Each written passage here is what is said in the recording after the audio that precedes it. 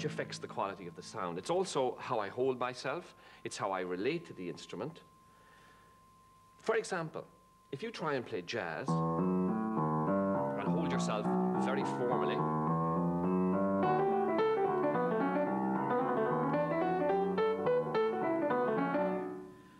I lose some of the meaning of the music. And it's just not on to play Mozart like this.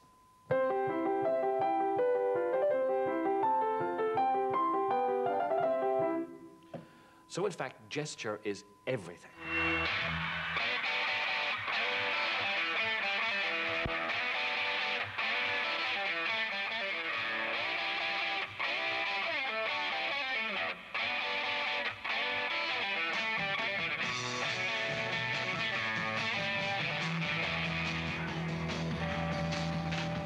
Every style of music has its own code of body movements, and Irish traditional music is no exception.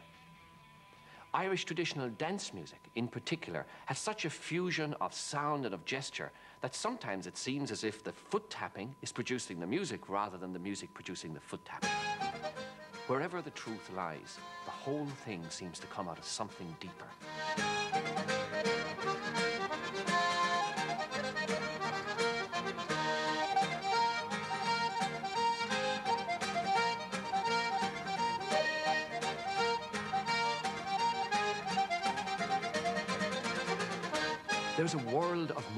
Hidden in at the heart of every music.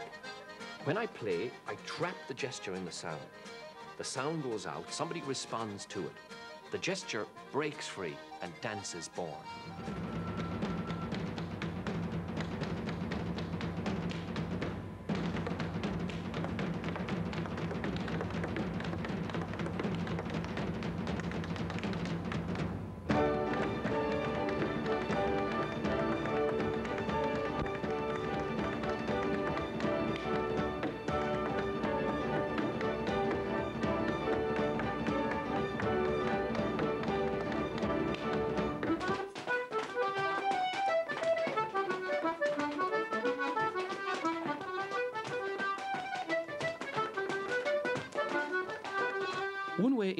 Music is through gesture, through the dance.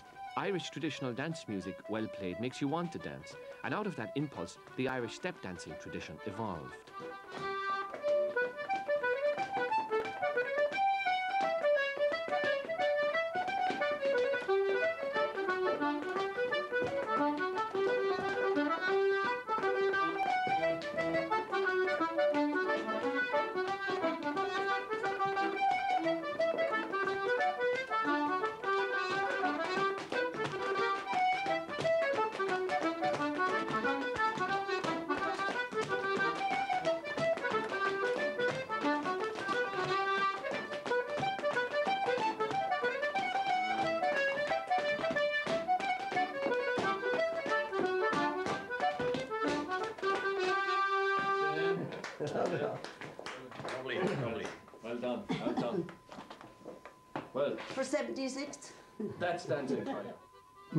Interest in, in Irish step dancing goes back really to when I was a very young lad, growing up eh, at home in Moyvane.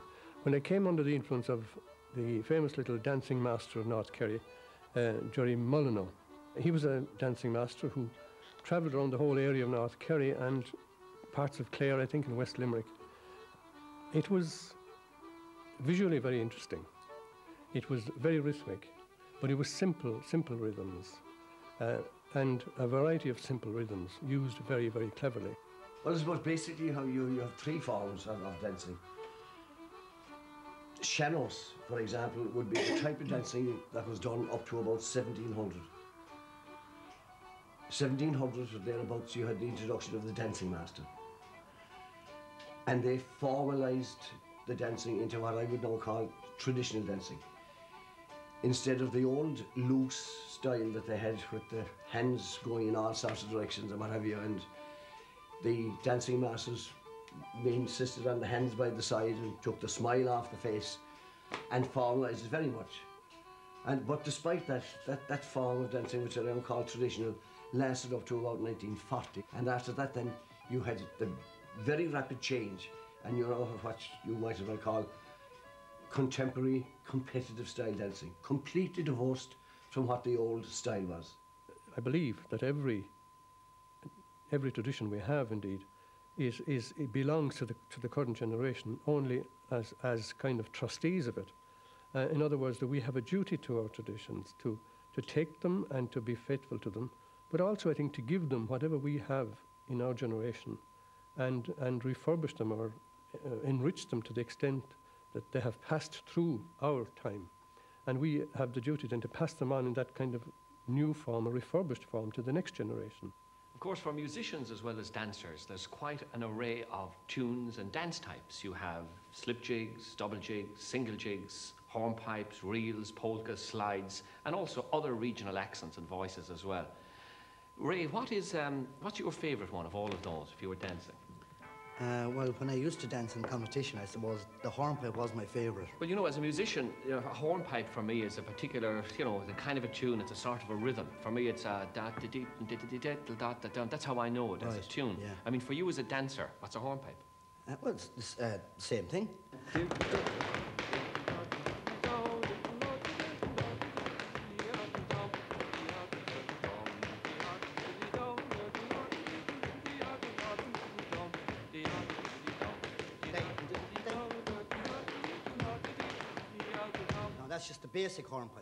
That's an Doesn't easy. It doesn't seem That's very an basic easy, to an me. easy That's an easy That's what we right. call an easy hornpipe, Okay. right? Now, when you when you learn the hard hornpipe, as we call it, um, it goes uh, with say the boys Blue Hill again. Um,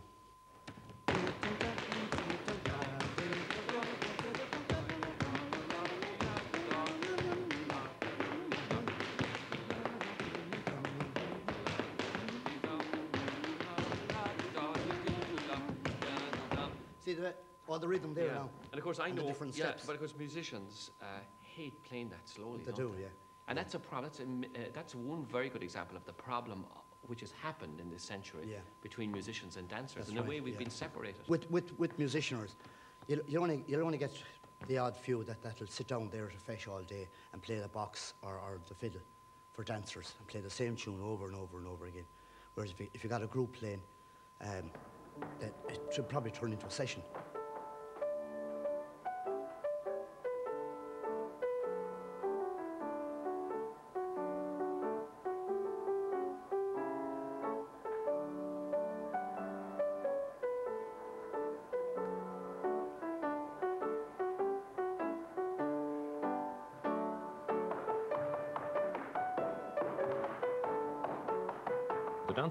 They, the music is played to suit them. And I'm sure you've heard the famous thing in, in Clare that a, a bad uh, musician, the, the, the reverse compliment they give him is that he was so bad that he would stick the dancers to the ground.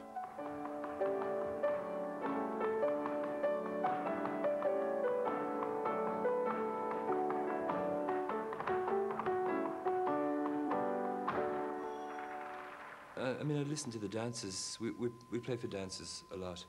And just listening to the rhythms coming off the floor. Like, there's a great rhythm in the West Kerry set on the lead around, for example, which would be.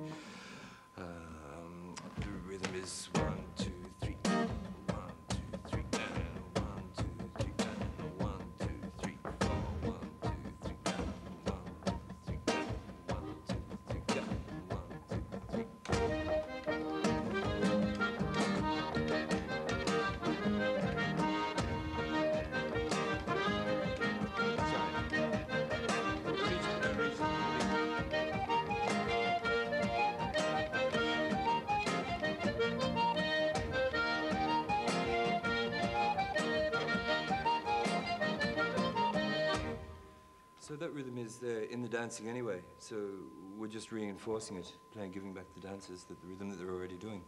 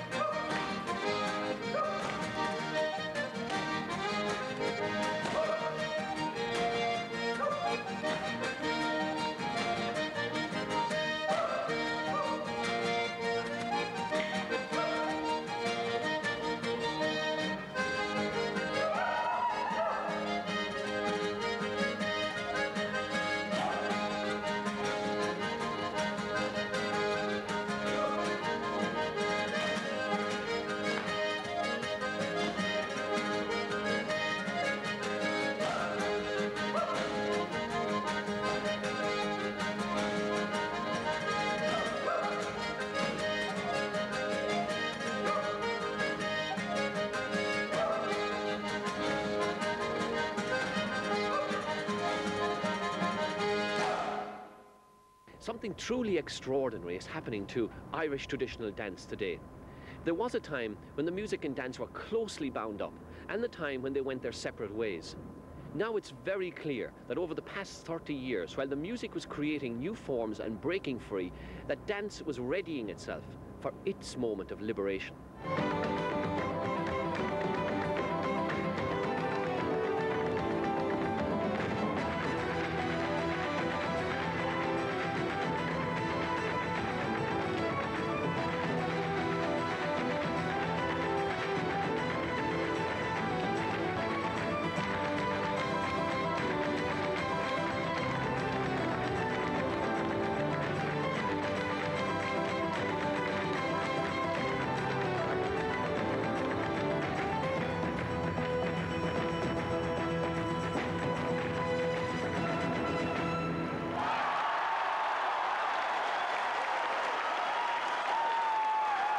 Basically, what happened to me is when I left uh, competition dancing back in the 70s, late 70s, I would have been about 18 years old, and I began touring in the United States with different Irish groups uh, and um, different dance companies. Uh, one of them was the Chieftains, and I began going in a different direction. And when I started going on that curve, I didn't realize how fast and how far I had moved. In a number of years, it seemed that I, I had little in common with a few people that I would run into that were still dancing in the uh, traditional sort of competitive structured world. Um, and finally, when I came back to Ireland now for Riverdance, it, it was such a clash. I mean, it was, I was heading this way at this speed, and they were coming this way at this speed, and we hadn't seen each other in 15 years. And when we finally came together, it was two totally opposite things happening um, between competition dancing and what I was doing. Because most people would say you can mix the Irish dancing with other forms, that it's sort of diluting it or whatever you'd say. Yeah, true. Well, I mean, I suppose if you're, if you're the, the way I, the way I'm dancing at the moment, I, am not in I'm not in competition. So I, I've I've done my own little devices of mixing Irish dancing with uh, Tennessee clog and a little bit of modern tap dancing. You know, mixing the three of them together because it's all a basic uh, beat anyway. Will yeah. we try a reel and you You can? can, of course, yeah, okay. lovely. So I'll start off so by, uh, I'll, I'll do the easy reel. Okay. Right? Into, the, into a, a thing called the light reel, uh, into a treble reel, uh, into a tap reel, and then I'll, I'll mix the Sean-nós and the Tennessee Clogget and the bit of modern tap dancing with it. All right? Okay.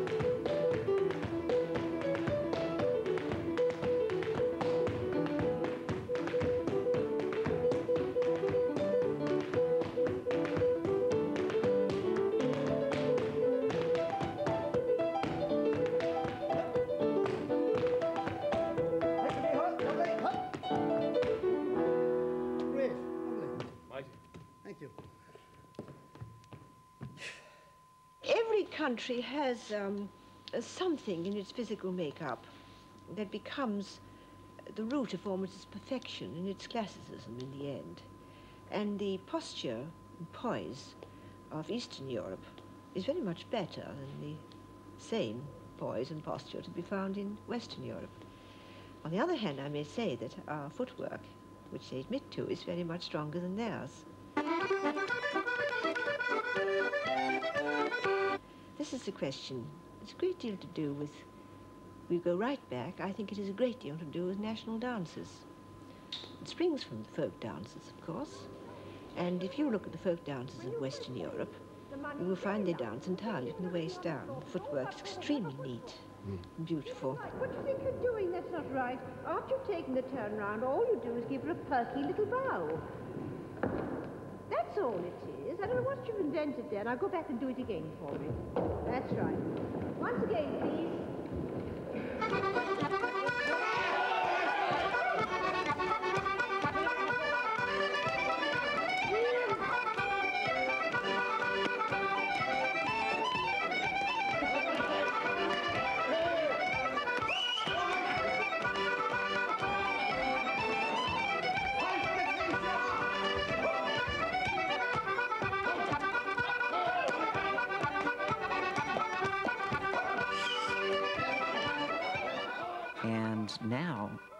Almost like this, this little bit of blossoming has been coming a little bit at a time. People are beginning to realize that Irish dancing is the incredible art form that it is. Um, I've danced for the New York City Ballet, and um, then they went on and they did a piece um, in, which was based on Irish dance and Irish dance movements.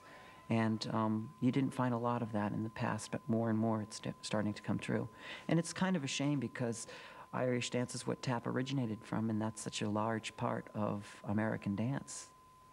Irish dancing for um, dancers in the non-Irish dance world is um, is an explosion of movement and strong technique and precision that um, they're not used to seeing, let's say, in other maybe looser forms of cultural dance and the, um, the accuracy that's involved and, and the syncopation and rhythm in the footwork is, is always a setback. And that the jumpers, we can jump high and, and sustain the up, straight upper body. And um, it's its own technique. And to a ballet dancer, it's just unbelievable to look at that and see something that's been hidden from them for so long. Our dance tradition has much to offer. It has achieved a level of technical excellence and has also encouraged community participation in dance. This dance tradition now enters a new world, and we are becoming increasingly aware that our dance, like our music, is capable of remaining true to itself while at the same time developing new forms. I would say Irish dancing is really at the heart of what I do because it's what I started out with first. It's basic and it's me. And then I went on to study other forms of dance and become more comfortable with that and have strong technique in that. But seeing as Irish dance is the first, it's the fundamental for me. It'll always be incorporated in some way, basically, in what I do.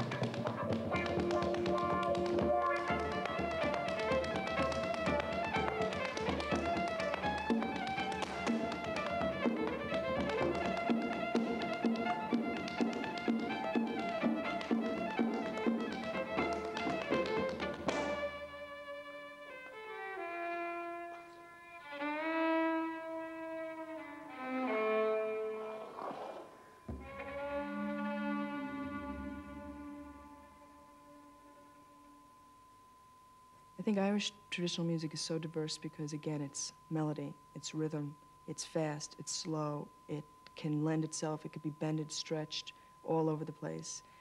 And in its simplest form, sitting down playing a tune, it's just gorgeous. I just, you know, uh, so many people are drawn in. I, I see that. I see it in New York, in the States all the time where people never have heard the music and they sit down and they're just amazed with it because it gets them. And, you know, you're sitting there, you're tapping out a tune. All of a sudden, you know, people just kind of tap. If the rhythm's there with anything, it's like the heartbeat, you know, you just, it draws yourself into it. And I think, you know, you see that all the time.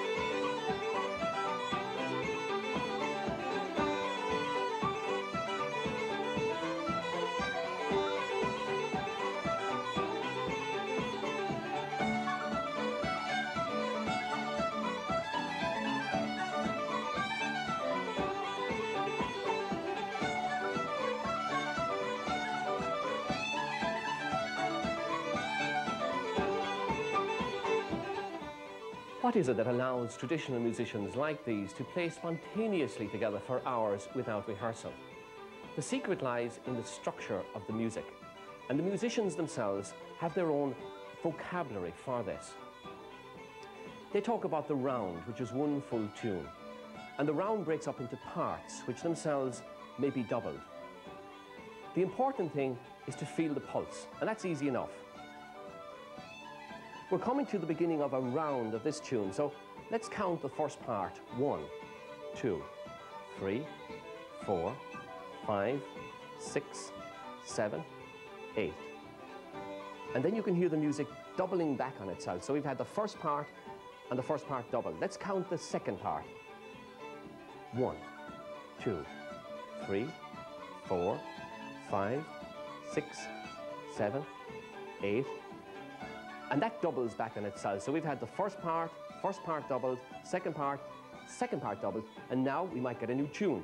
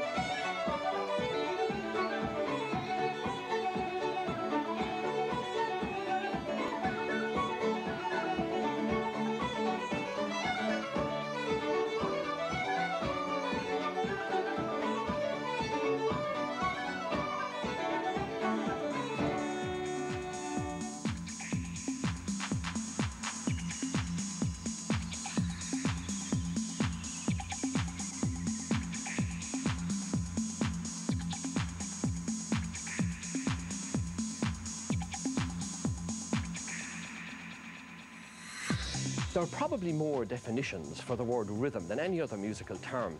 But whatever way you look at it, because we're dealing here with dance music, it's a very, very important component. Irish music has its own unique approach to rhythm. It all comes down to how we play around with motor rhythm.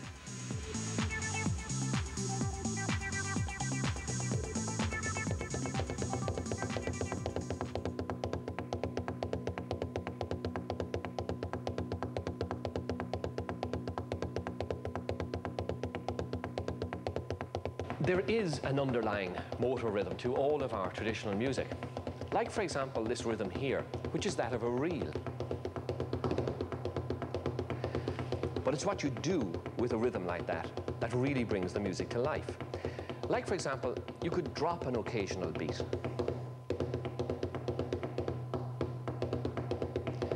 Or if you wanted to make it more complicated, you could add beats.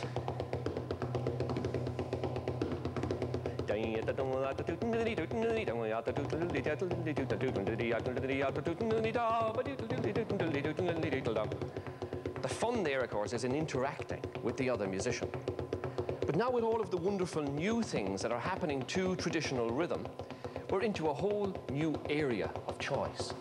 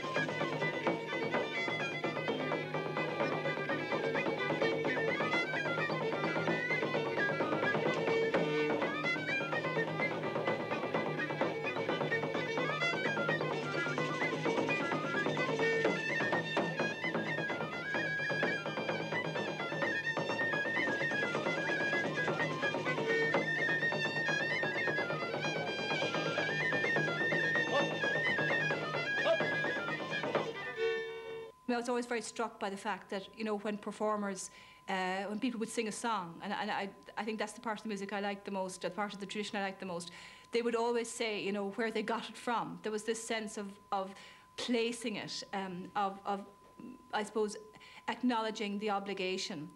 And, and there was that tremendous historical sense that you were now placing yourself, you were acknowledging what you got from people who went before you in some sense, you were also acknowledging that you were now changing it, you were putting your mark on it, and, and, that then you were passing this on in a living way to the next generation that came up. This, this tremendous sense that you were there placed centre stage between the generations, as it were.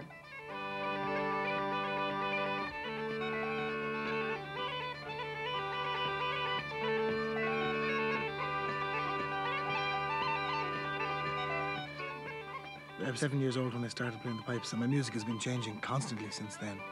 The old musicians, I, I think, affect what I'm doing. I do I break away from them? I, I do break away, but when when I do, I, I I have a chance of doing something nice or something not so nice. And until I go back to the old musicians, I can't really put it into a framework and, and a proper series of, of events and see is it nice? Is it is it right? Is it in keeping? I hopefully I'm moving on. I'm, I'm continuing the music. I'm not I'm not slavishly copying what was done before. Um, I've studied what went before. The uh, the old old old pipers and fiddle players and flute players and concertina players, and I could mimic a lot of them, which I think is a thing that our generation can do because of tape recorders and television, and I can I can put on uh, Seamus Ennis's pipes and play like Seamus Ennis but it's not Seamus Ennis and it's not me.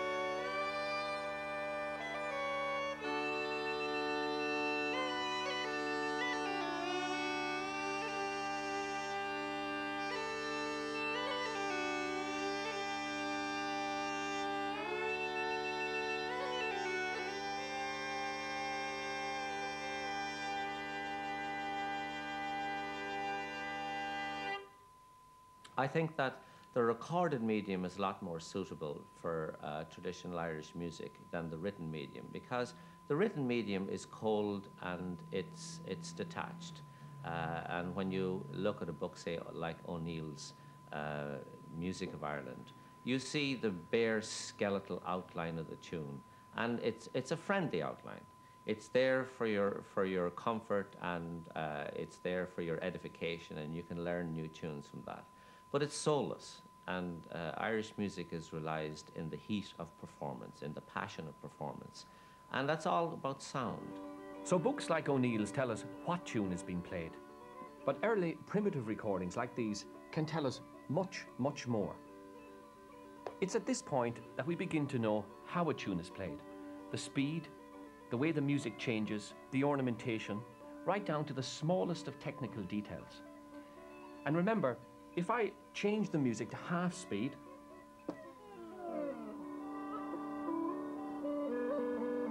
or even to quarter speed, it allows me to put the sound under a microscope and to see how the music shifts and changes.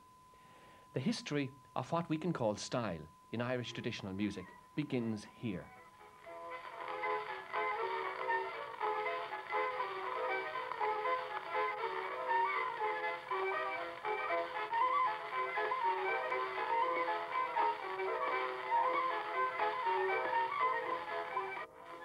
I think that the technology of producing Irish music in America had a profound effect at the time on how certain styles were elevated over other styles in Irish music.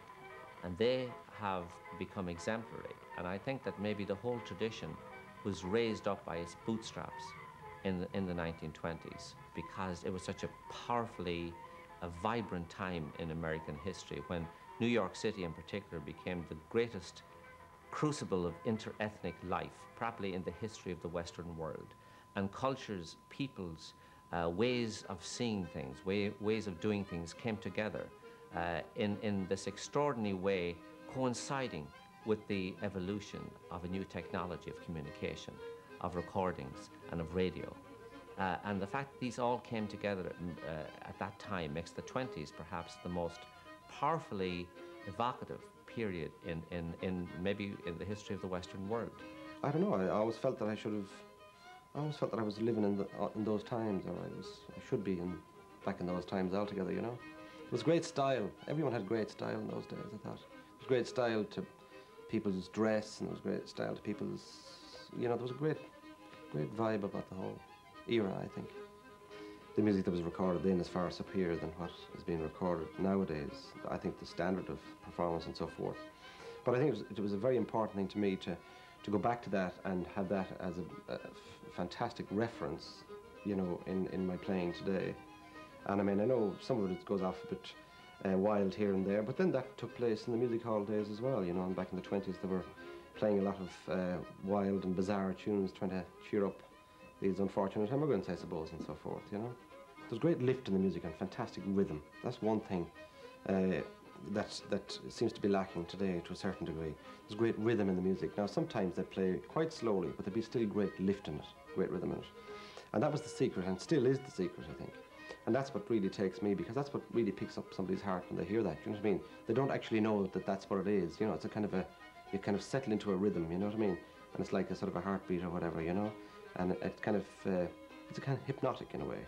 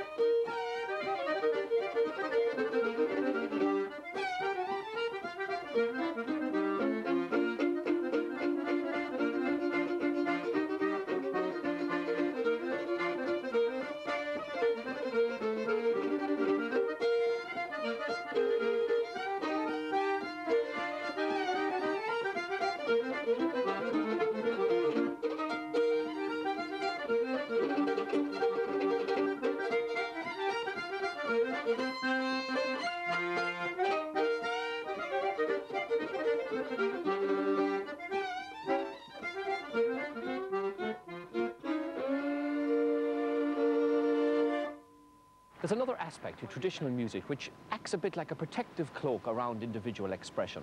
This is called regional style. It's when a number of individual voices collect together and interact in a particular locality. Over time, a local accent emerges, just like in language. There are local accents in traditional music, and in Donegal, we find one of the best examples of this.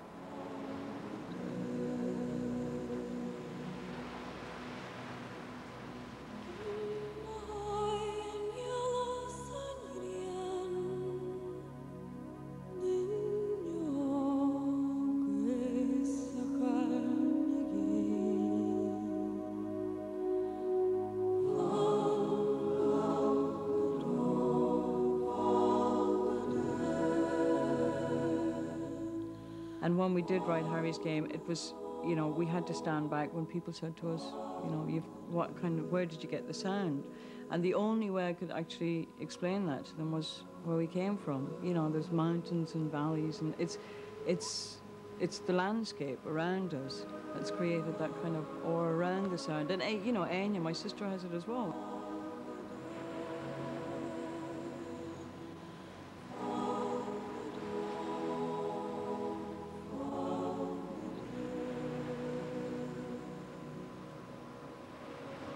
am yn dyn am chalam o charta yn bion, roddi ar tyn o'n ymwyd lef gydi.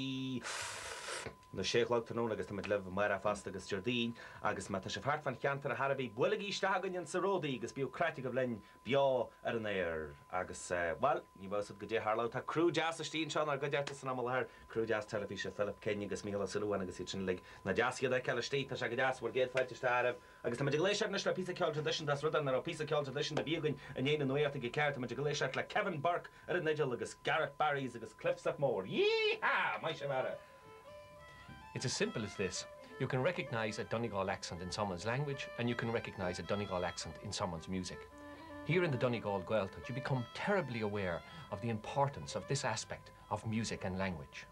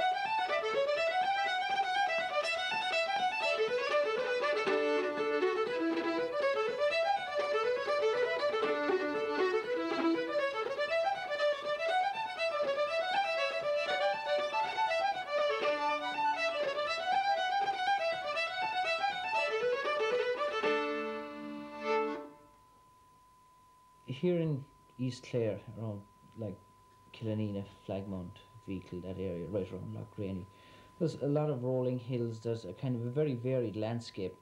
You know, it's a bit like West Clare at sometimes, you know, when you go to one end of the parish, you know, you get the rocks. Like right up the road from me here, there's a lot of rocks and heather here in Maghera. And further on down, it gets a bit lush as you get down towards Feakle. Then as you go back over the mountain again, it's turned into bog. So you, you get a real combination of fields in, in the land and in the area. And with the music, you also sometimes you can hear some of the austerity and loneliness of, of West Clare music. And sometimes you sense a certain richness, like that could be almost compared to the soil, like that there's a, a certain lusciousness in areas where there's a lot of trees, a lot of wood. And, and then there's, there's, there's also, you know, that whole rolling feeling that you get in the music where the chords and swells of sound kind of compare to the swells of sound in the music itself, you know. So it, it and there's an easygoing pace to it that, that in some way related to an easygoing pace of life that seemed to exist here for quite a while, even though maybe departing a little these days, but still, it was pretty easygoing and untouched in many ways, you know.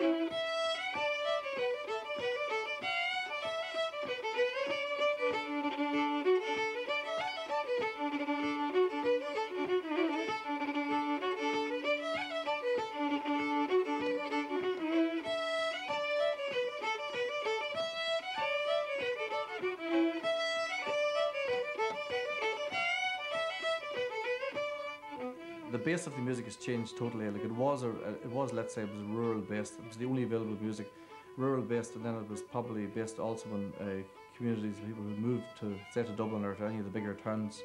It was probably just something which people did without really thinking about it in the past. They needed to dance if somebody played tunes.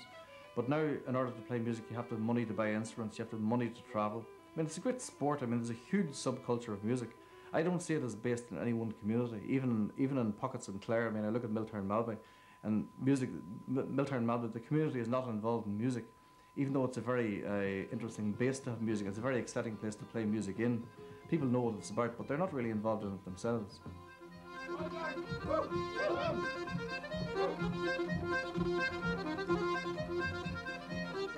The way the way music is played today is, is, I would say, is totally different to the way it was played years ago. And the, the best verification of that is that if you find um, older people complaining about the way tunes are played, and um, if they said it was played differently, it was played differently.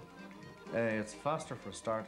It's kind of zippier. I think that'd be Jackie Daly and Seamus Creagh, in fact, were the, the landmark in changing the, the pace or the attack of tunes.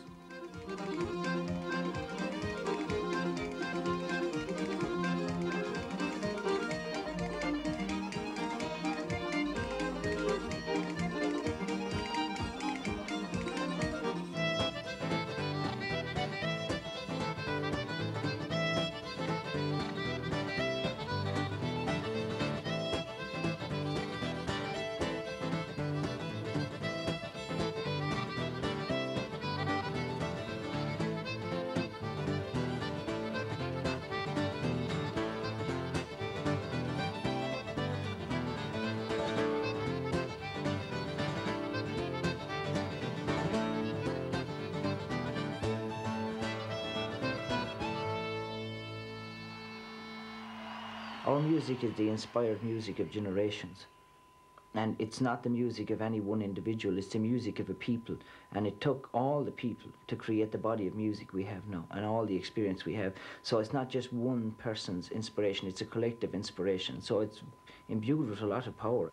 Like living in Chicago, I heard unlimited amounts of blues bands. And some people didn't feel the blues. And you always heard of this cliche that you've got to feel the blues. And if you don't feel the blues, then you don't have it. It doesn't matter how many notes you play or how many licks you know. And it's the same with tunes. It wouldn't matter how many East Clare tunes you played or how many minor keys you played them in, if you didn't feel accordingly and understand the feelings involved, they would mean nothing. So it's merely the music is inside. The music is not in the fiddle or anywhere else. The music is inside, and it's only just letting it out. That's the important thing.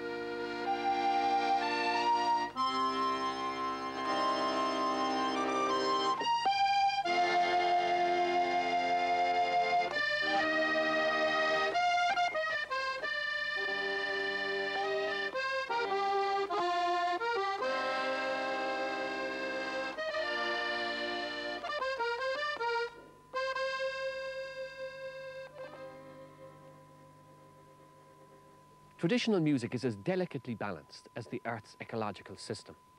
It's essential that we recognise this, because in recognising it, we'll know what to do when traditional music meets education, meets the marketplace, meets commercialism of all kinds, meets the entertainment industry, meets the information superhighway. The fact is, this is a time of great transition for traditional music. Out of an old world, a new world of sound is being formed.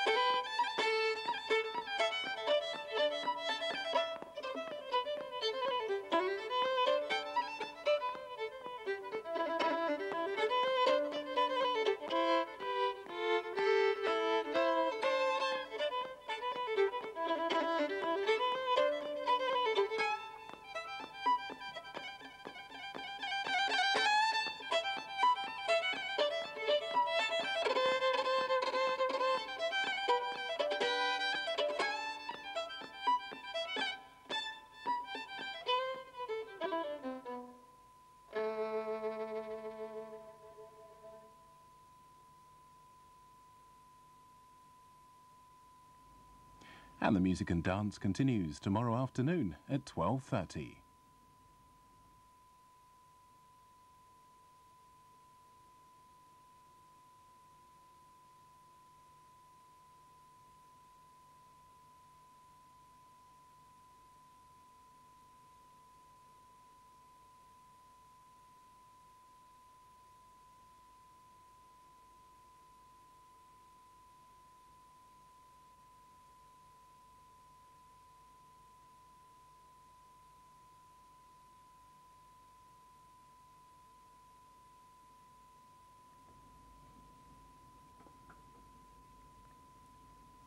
Sylvie Guillaume continues her exclusive presentation for BBC Two, tonight explaining space, reality, speed and life itself at 7.30.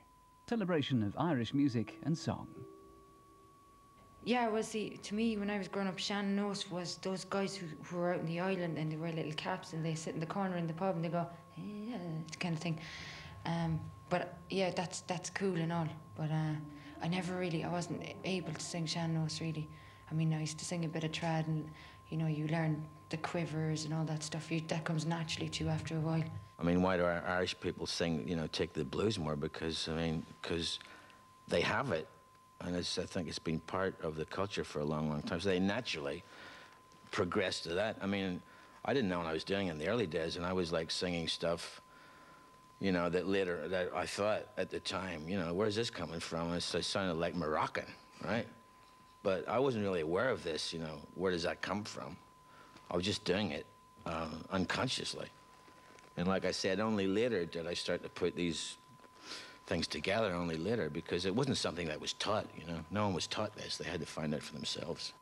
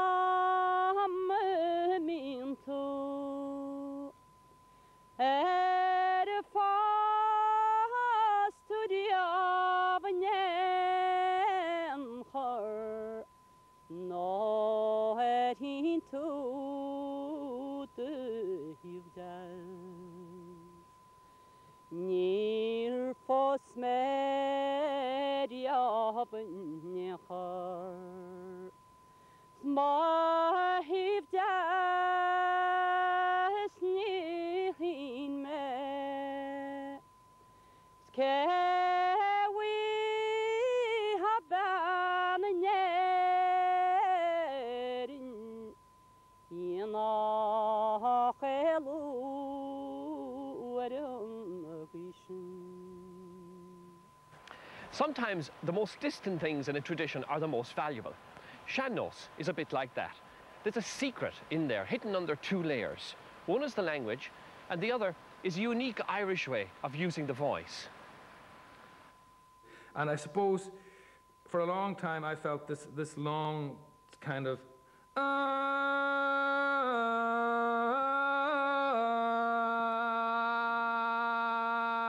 was, was, not, was, was not a voice, you know, because it didn't go ah, you know. And it was only when I got into traditional music that I realized, yes, you can sing like that, and, and that and that's a far, it's a more kind of transparent way of singing. It's not encumbered with, with some kind of uh, technical uh, baggage. It's just a straight kind of thing that goes, uh, I don't know why I started this, but certainly speaking, I find that my whole experience listening to Sean-nós singing largely um, uh, confirmed me in my sense of being a singer and allowed me to use that type of voice in my own compositions, um, feeling that it was a valid way of expressing myself.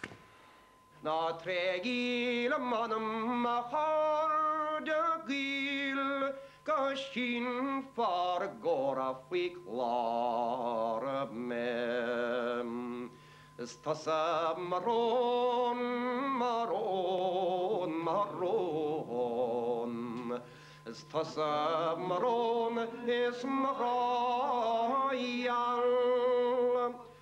Stasa maron maron maron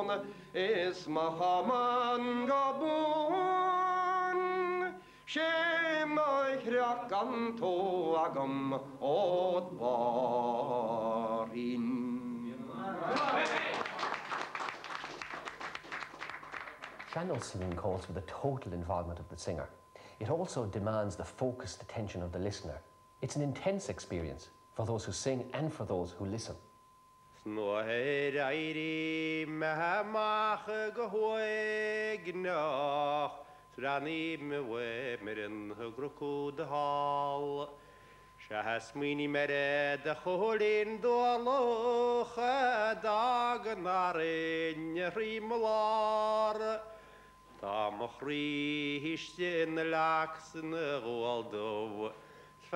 Roi ní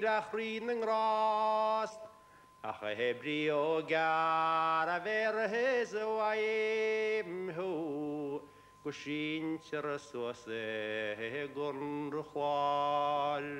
I mean, the phrase itself, where does it come from? Sean-nós. I mean, I don't know who coined that. It doesn't actually mean anything. It means old style. Old style of what? How old? What kind of style? I mean, what does that mean? It's an approach as far as I'm concerned.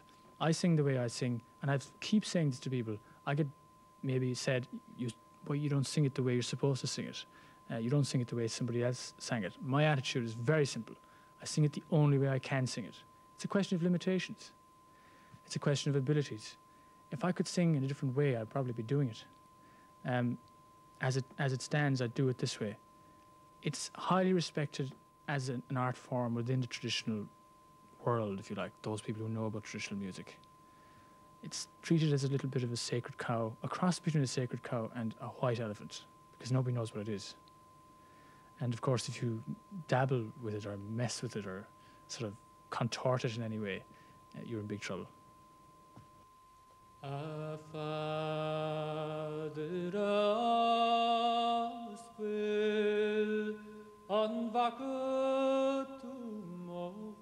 Royal.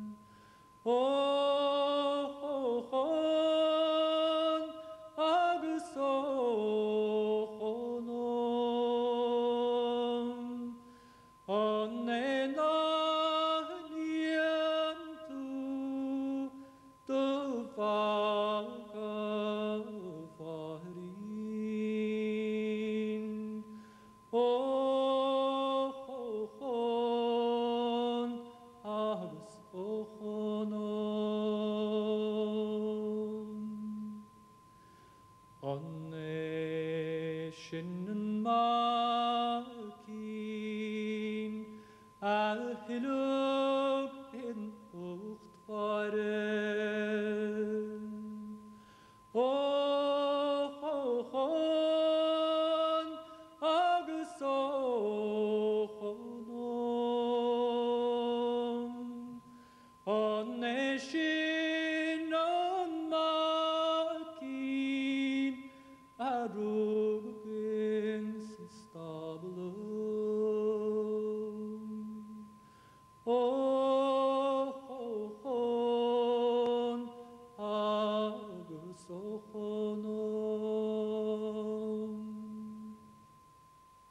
You've just been listening to It's called Caoineadh na dTrí Muire, the Lament of the Three Marys.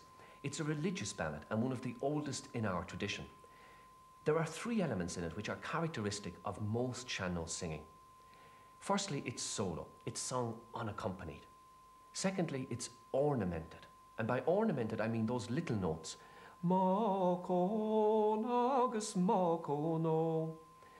Thirdly, and most importantly, it has no fixed pulse. You can't tap your foot to this music. Is fadem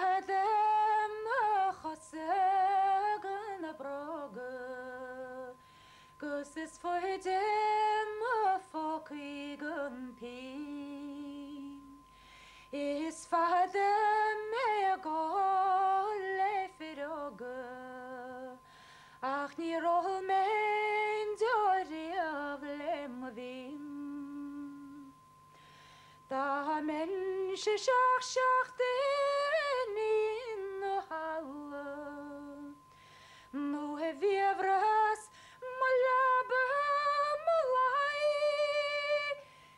Gus ma het grahi der kwartam Skehol kinte gynnairon mohi. To me, Shannos, is very close to the Irish language. The whole musical tradition, I think, is tied in with the Irish language. You can't get away from that. It's a language that's quite earthy.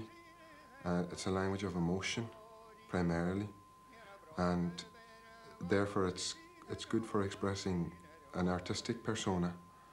Uh, perhaps not saying that English language can't do it. A lot of people say that the English language is one thing and the Irish language is the other. It's not like that. But it's ours for a start.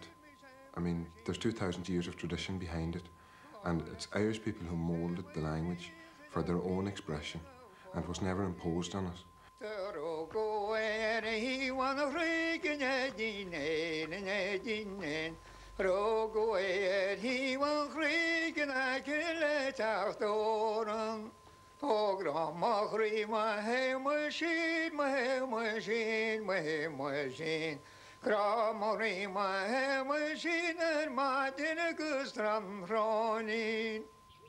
I don't think I ever consciously made a decision to be a Sean-nós singer. We spent uh, June to September, uh, Halloween, Christmas, Easter up in Donegal because my father was a teacher. And um, it was about us. My granny, my aunt, my father brought us from house to house around Ranafast. He himself was a collector and um, he worked in the 30s with the old Ediphones and uh, used to cycle around with it on his back. And uh, so we were hauled along and made sit there and listen to this. And quite often uh, we, we would have preferred to have been elsewhere, but uh, you were aware of it and you were around it all the time. So the songs were there and uh, we listened and we learned. And I suppose we didn't know what we were learning.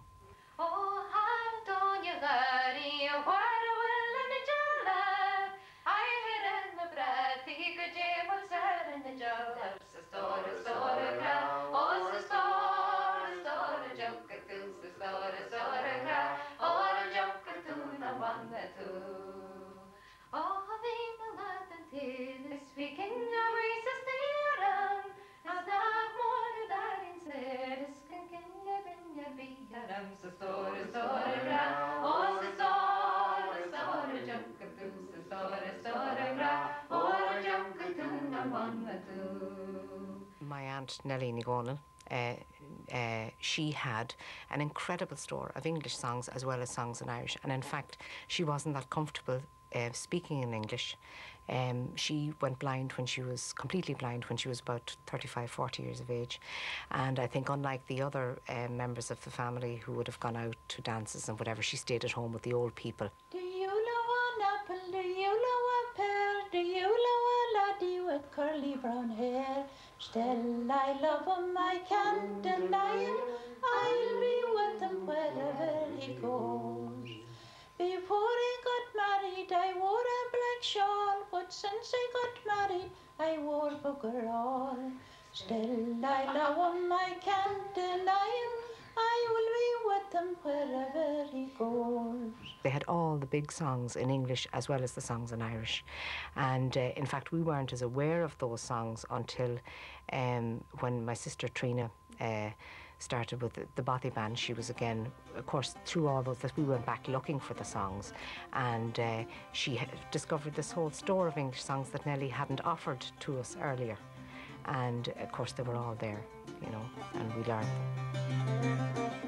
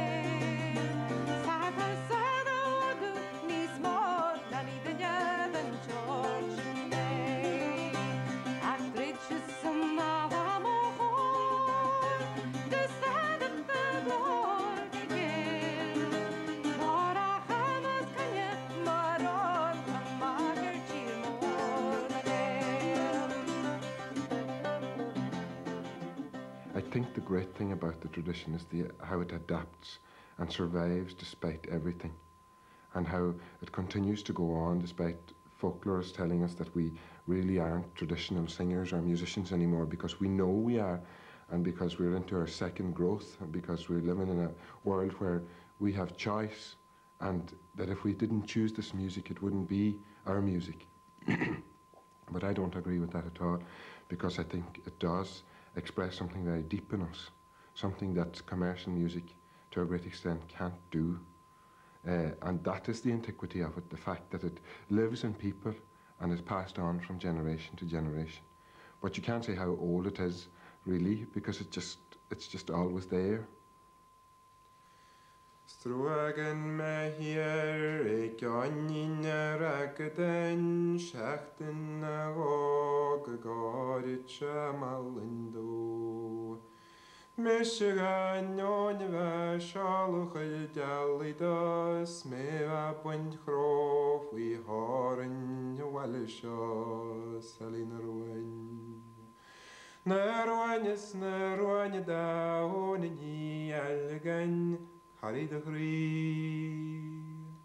Nerejkim szent liaug, ez kliaudan onyarım, Szém szüsísz, pin fuatagöz tasarım.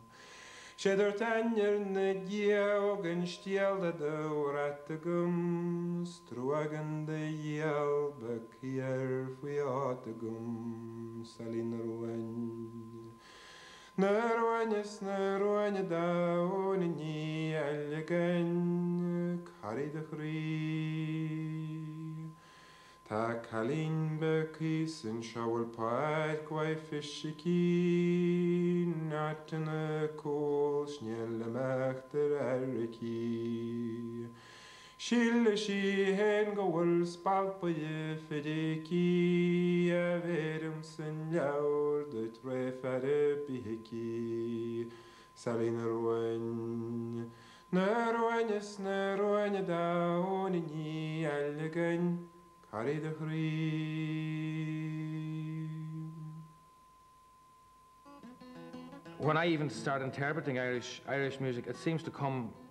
through some kind of Scottish filter too with me. It's really strange. Maybe it's where I come from in the north of Ireland, like, uh, but it's like all the kind of things, the rhythms that I would put to a, an Irish jig would be kind of more sort of Scottish sometimes than than to than Irish. Ye brave young sons of Erin's Isle, I hope you will attend a while to the wrongs of dear old Ireland. I'm going to relate. 'Twas black and cursed was the day that our Parliament was taken away, and all our grief and sufferings commences from that day.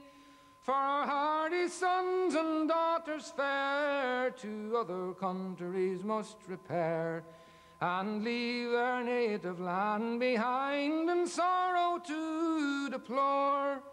For to seek employment they must roam far, far away from their native home, from that sore oppressed island that they call the Shamrock Shore.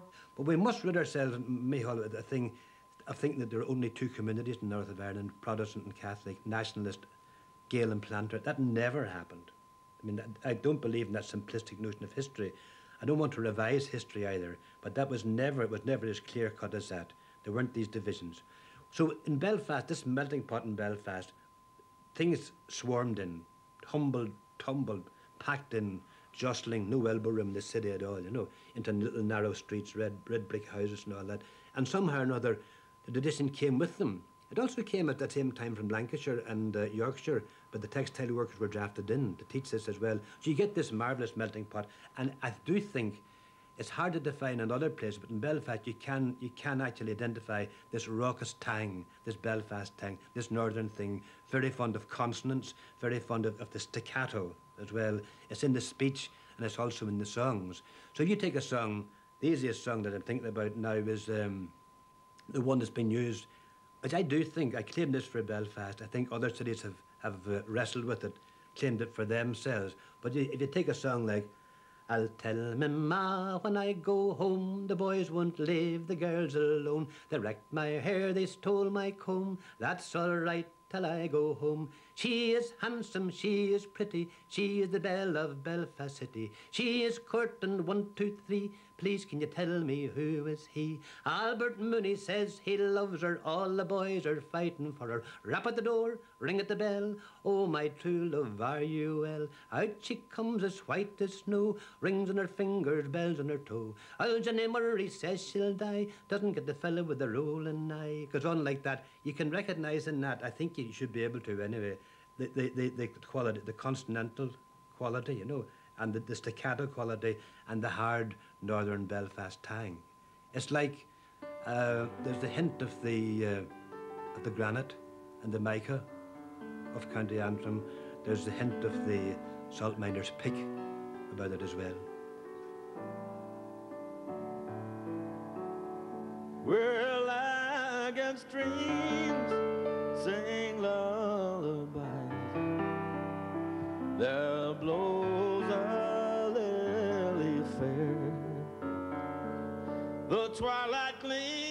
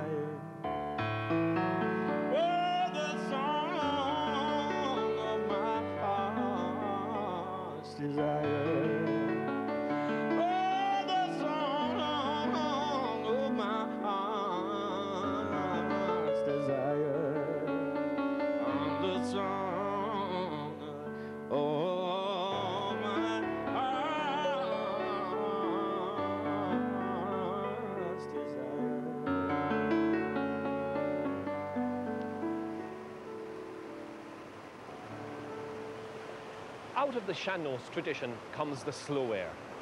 The slow air calls on the instrument to sing in the spirit of Sean-nós. In fact, the term slow air is really a misnomer. It needn't be slow at all. It's simply like the big songs. It's cut loose from the regularity of a constant beat.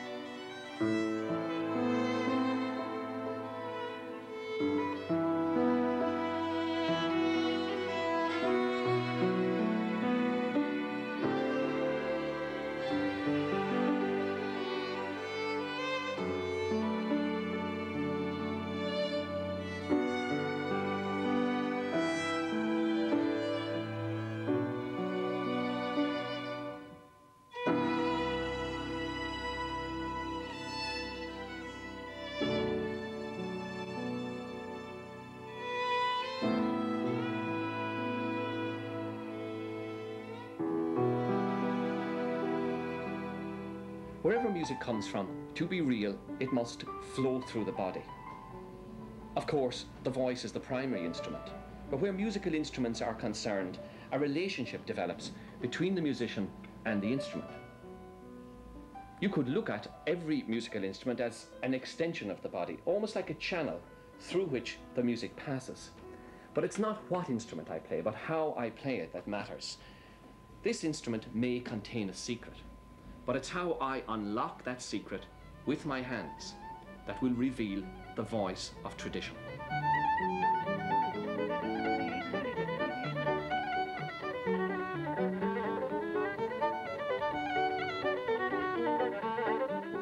Whether you call this a violin or a fiddle, the fact remains that it's one of the most versatile instruments on the planet.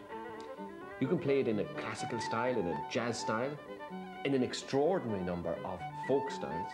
You can even play it in an Indian style.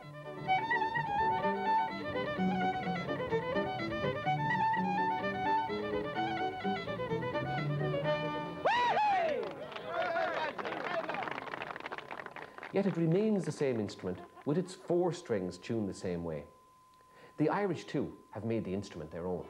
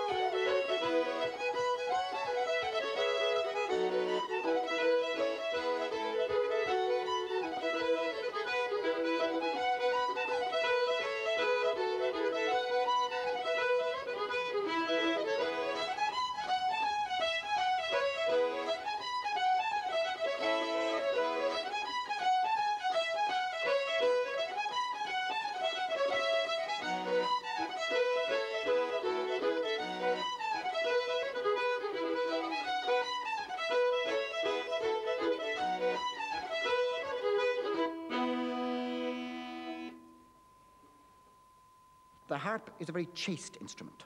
Um, and it, is, it does have, I think, a, a feminine image.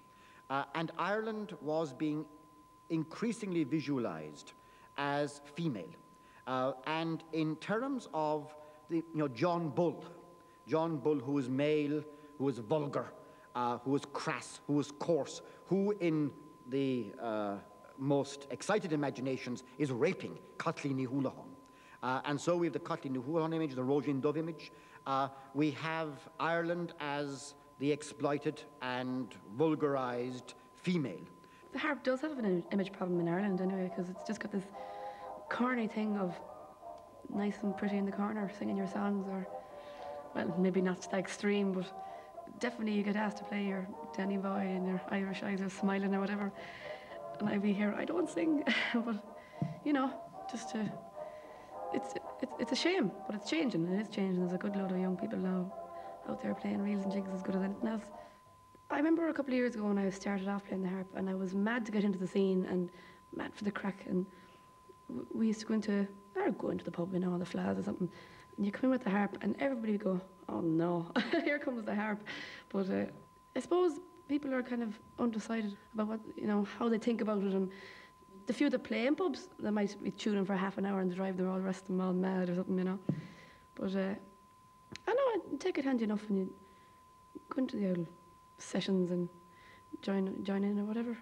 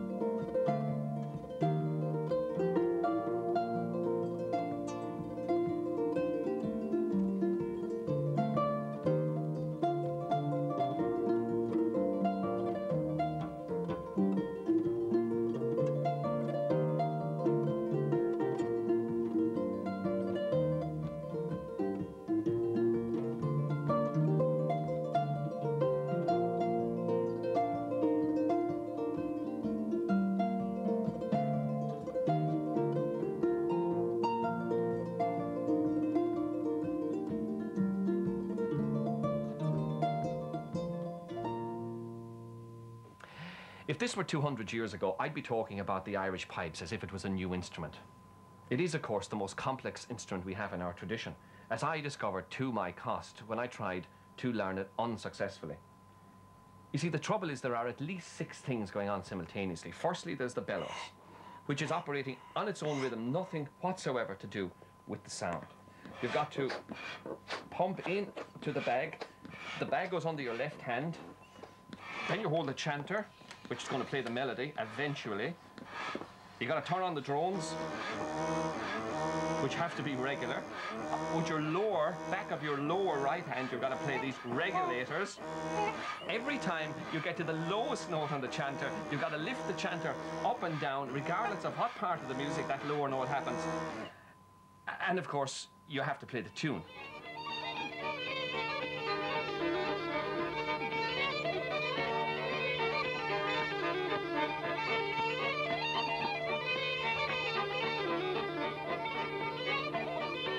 What is it that makes an instrument traditional? In some cases, an instrument takes on into its own body aspects of the tradition over time, and the pipes are the best example of that. There are many pipes around the world, but no pipes exactly like the Irish uilleann pipes. The pipes, I think they're, they're an over overdeveloped instrument. They're way past what they should have done.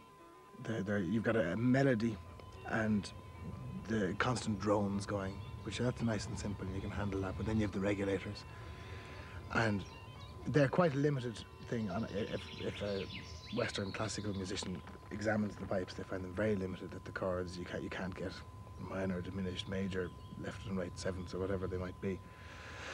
But when they're all going, they're fabulous. And for most pipers, they're rarely going because you've the seven reeds. It's like having seven oboes, say, in tune with each other, which is very difficult. And the, the pressures and all that, you're pumping with that hand, you're keeping the pressure going on that one. And then with your left hand, you're playing, your right hand, you're pumping, playing, and playing the regulators. So this right arm is moving in, in three planes at one time.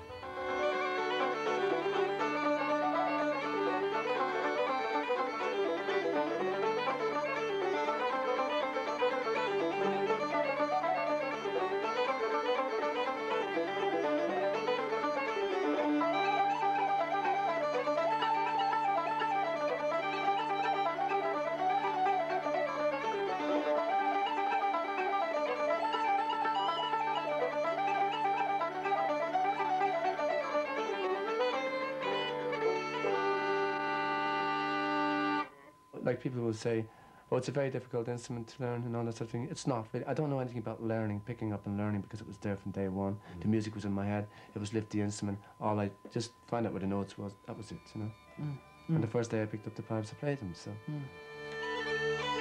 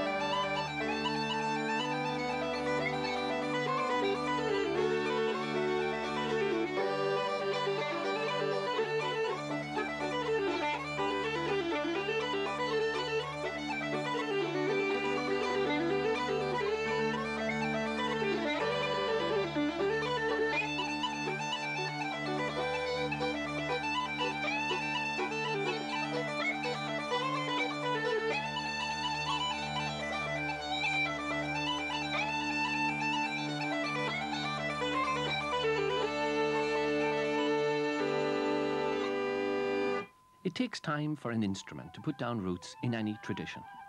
Take, for example, the family of free reed instruments, the concertina, mouth organ, button accordion, and the more recent piano accordion.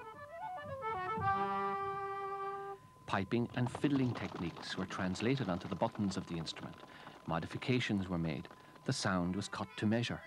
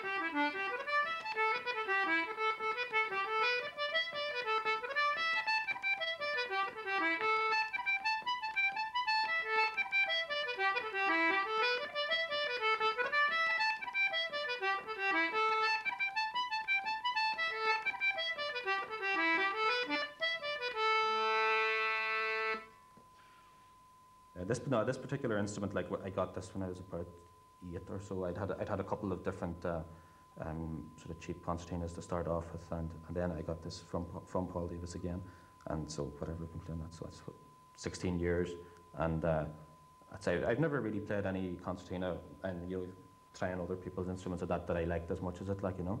I mean, at this stage, it's showing all the signs of the wear and tear of being played for that length of time, like, and I end up play it quite differently, like in technical terms, I think probably from, from most other concertina players.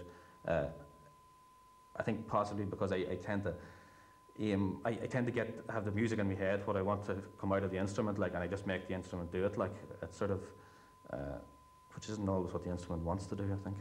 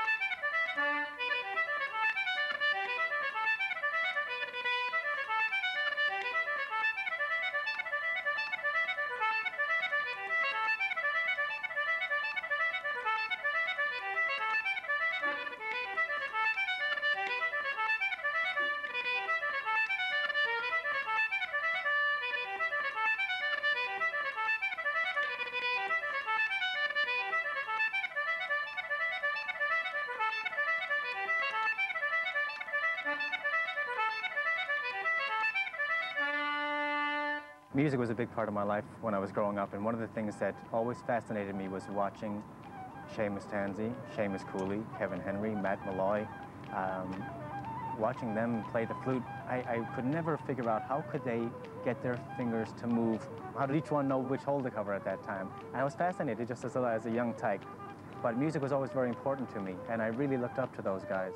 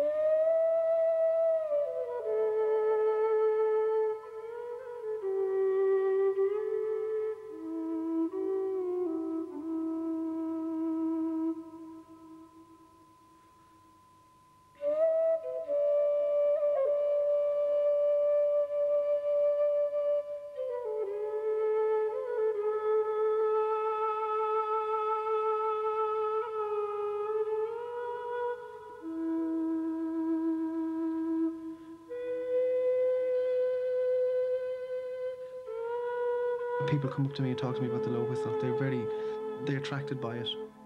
I don't know what, they don't explain. Maybe it's just because it looks simple or something, or maybe because they like it. It's just basically like a large tune whistle that sounds like a flute, and it's kind of caught on a little bit now. And also, I don't think it challenges. It's not very challenging in the traditional circles either because it is, you know, six holes and it plays traditional music, and there's not much of a debate. It's safe enough there too. I think so. I think it's been accepted.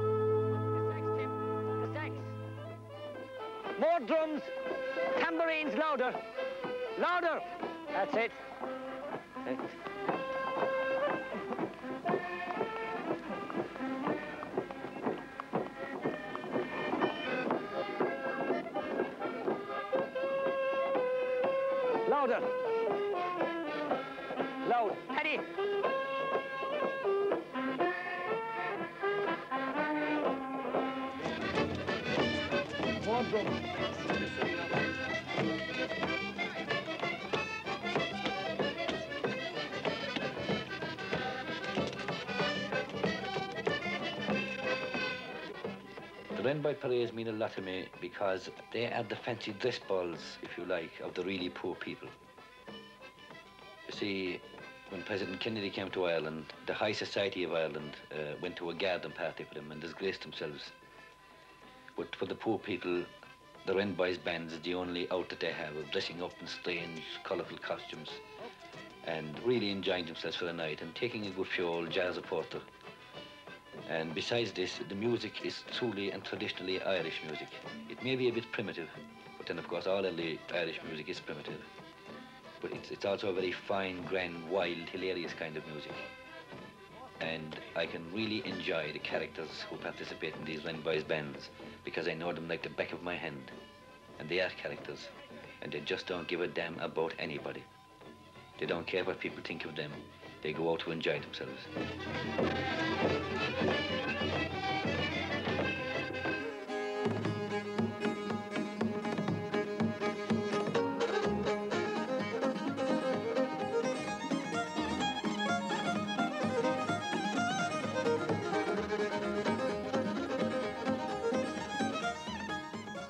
The bodhrán is perhaps our best example of an instrument on the move. It's a frame drum, and instruments like it are found in cultures throughout the world, very often in the hands of the shaman, who views it as a magic instrument to link between the material and spiritual worlds. Our frame drum, the bodhrán, has also come down to us as part of a ritual, hunting the wren on December the 26th, St. Stephen's Day. Since the 1950s, the instrument has become caught up with the traditional music revival. And over the past 20 years in particular, since the early 1970s, the development of playing style in the bodhrán has known no bounds. One, two, three.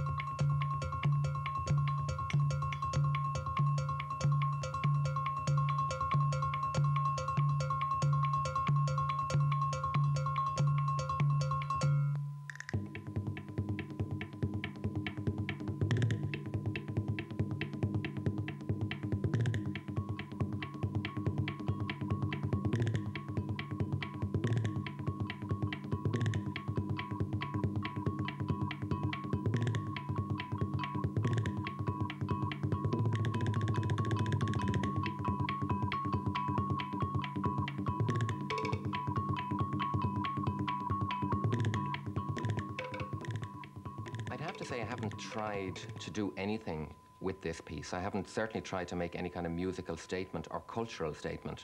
It simply has been um, a combination of all the influences that I've been exposed to and the way that um, my exposure to Javanese music, for instance, or to South Indian rhythm has found a way of expressing itself in with what I'm used to, which is bodhrán playing.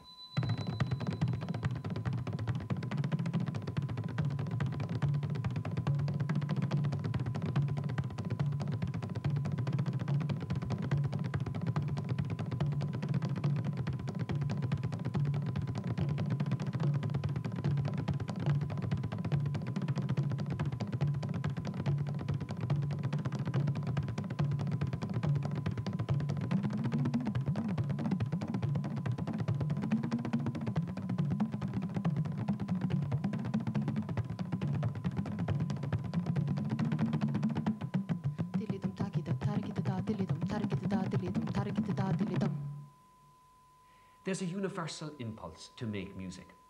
And out of this comes an ability to make music with whatever comes to hand. Sometimes these instruments are not regarded as instruments at all. Instruments which are cheap and easily available can also suffer the indignity of not being taken seriously.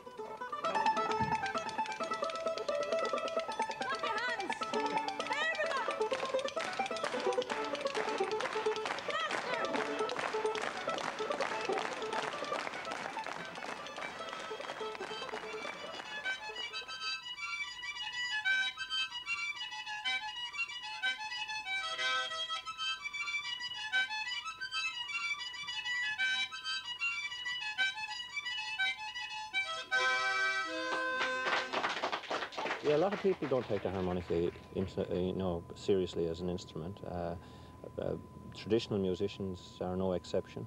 Um, they treat it as a toy, and uh, you know, sometimes they don't uh, give it the respect it deserves.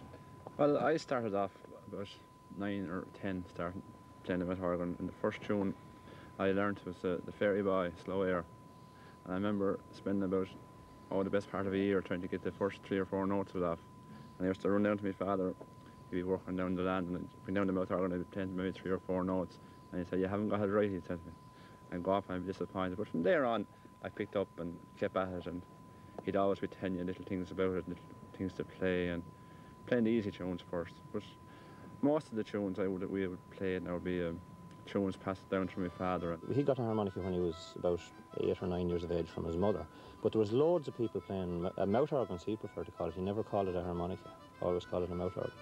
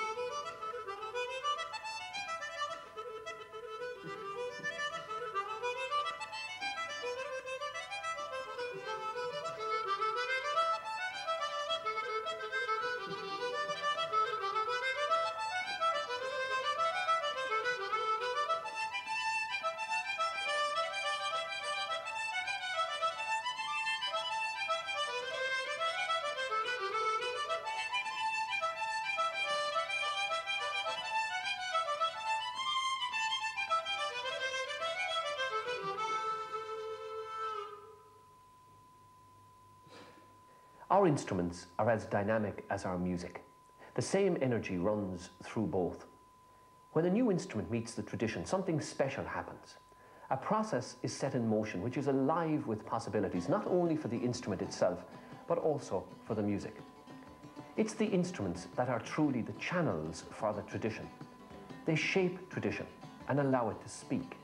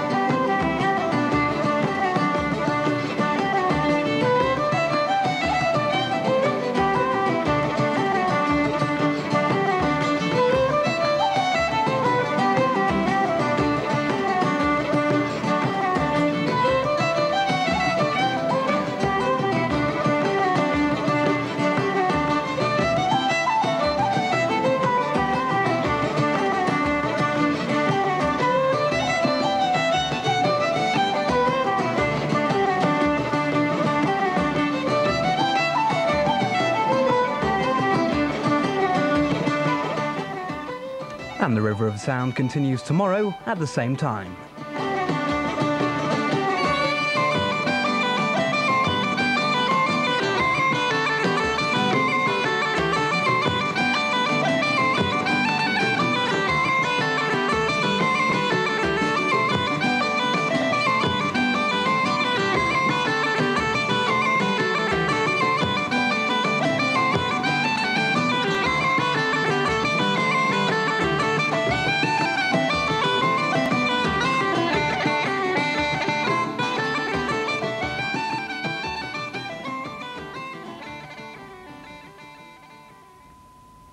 Well, he wouldn't have to work hard if he was a wealthy man. Topol stars in the Oscar winning Fiddler on the Roof.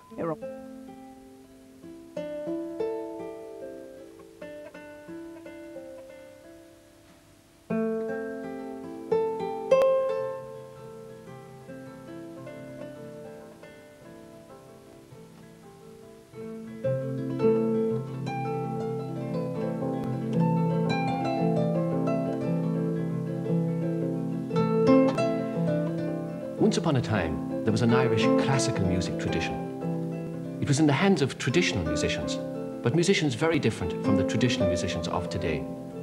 For a start, the harp was centre stage, and the professional harper in medieval Ireland was the carrier of that tradition. It was a tradition which was to die. It became the last voice of the story of music in Ireland. What remains of that music is suffused with feelings of displacement and nostalgia.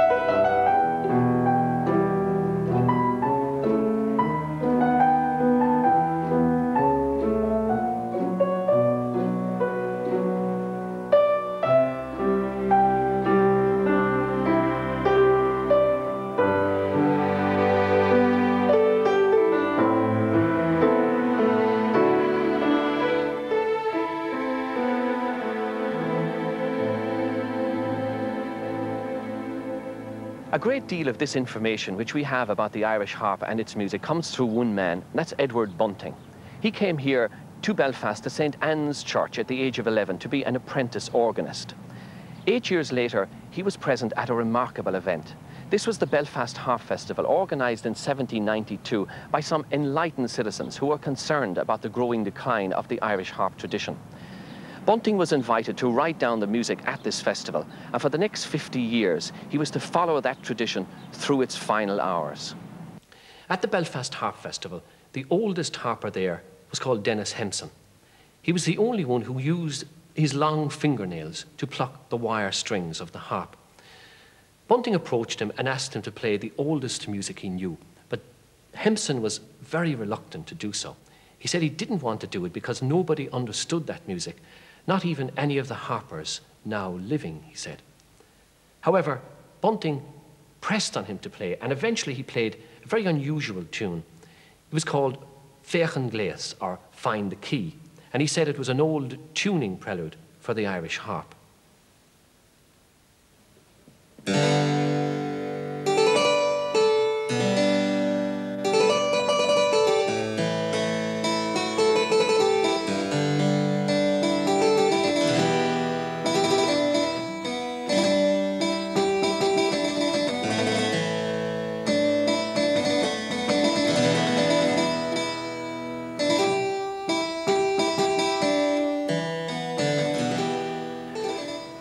Gaelic harp tradition died, we lost an Irish classical music. I believe if that tradition had survived, we now would have two related but independent traditional music languages. The interesting thing is that there are still tunes being written and music being played in the living tradition. You like to pick on that creative impulse to spin out a long melodic line? But that creative impulse is no longer confined to the harp. You're much more likely now to find it on other instruments.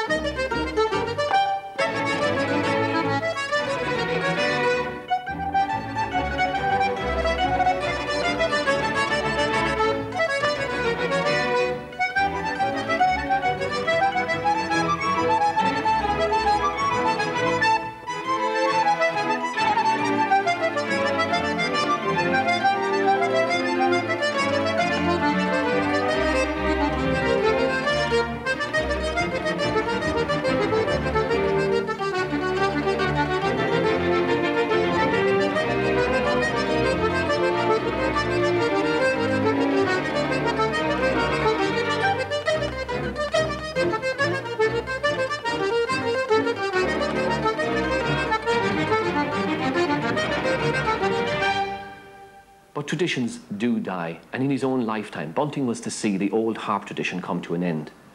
About a year before he died, the Secretary of the Irish Harp Society wrote to him from Belfast Dear Sir, in answer to your inquiries respecting the Harp Society, I'm sorry to inform you that the funds will be exhausted about the 1st of February next.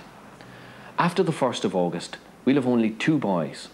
We're anxious to prolong the time that one of the boys, William Murphy, may have as much instruction as can be afforded, he having his eyesight perfect and a natural taste for music. I mentioned to you that we might probably keep up the society for a few years longer by private subscription. But from the fact that the young harpers can only earn their bread by playing in hotels where they are too liable to contract fatal habits, we think the money could be more usefully laid out in other charities. Our gentry in Ireland are too scarce and too little national to encourage itinerant harpers as of old. Besides, the taste and fashion of music no longer bears upon our national instrument. It had its day, but like all other fashions, it must give way to novelty.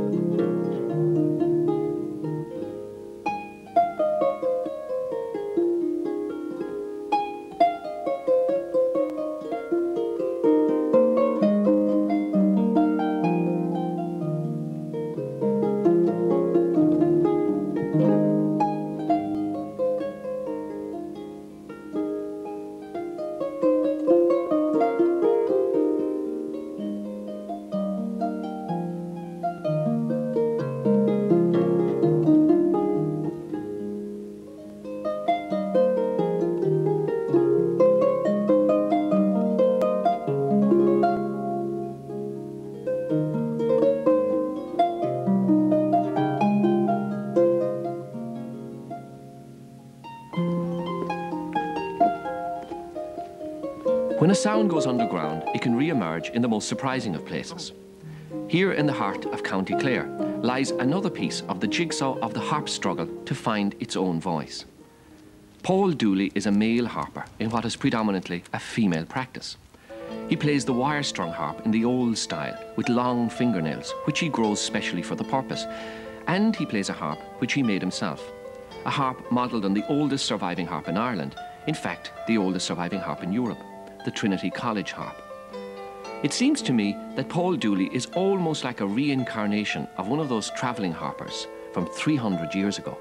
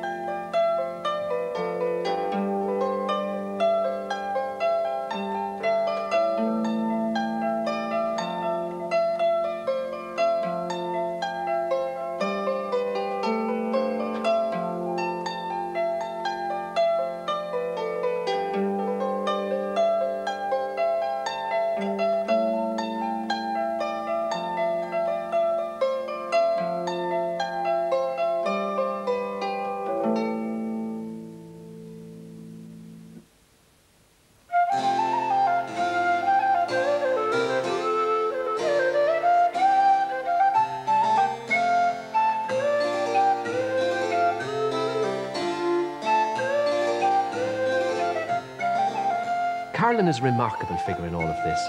He had three names, Turlough Ó Cearbhalláin, representing the Gaelic culture behind him. To his English-speaking Anglo-Irish patrons, he was known as Turlough O'Carolan, or simply Carolan. And in the Dublin newspapers of the day, he was sometimes referred to as Signor Carolini, representing the fashionable Italian art music towards which he aspired. Carolan's music is a wonderful fusion of two different musical points of view. In fact, when cultures collide, the results are often imprinted on the music of the period. So with Carolan, you can have it both ways. You can play the music simply on pipes or on fiddle, or of course on harp, or also, you can even dress it up in Baroque style.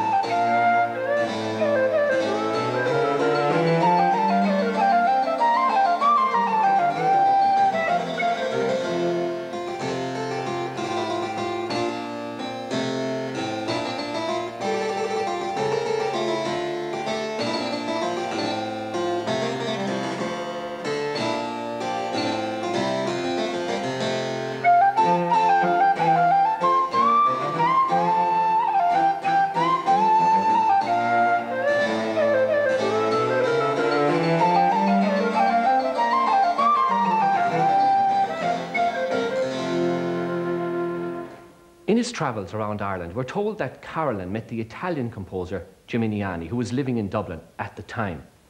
Imagine the scene the Gaelic speaking itinerant harper meeting the cosmopolitan Italian composer. We're told that Geminiani played for Carolan Vivaldi's Fifth Concerto.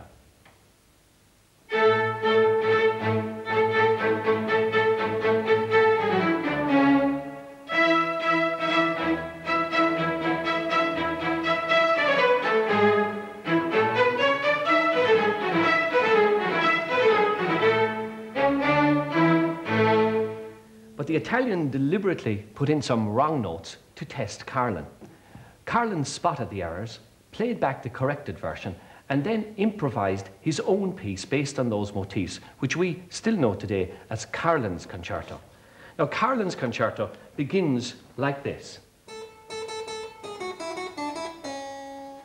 And Vivaldi's Concerto has something like that in the opening.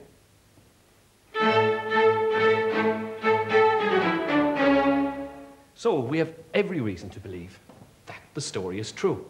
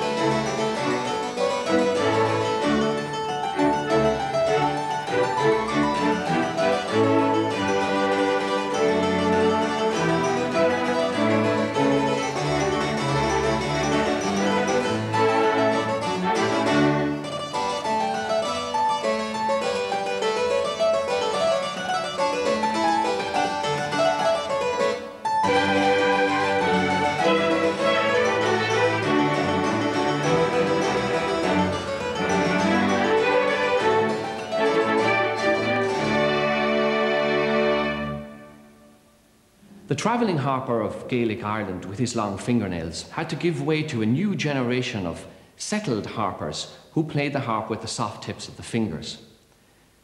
From countryside to city, from male to female, this crossing over of the harp from one world to another moved it from the centre of a Gaelic stage to the sideline of Anglo Irish society. There to meet it on the other side was a great Irish songwriter, Thomas Moore.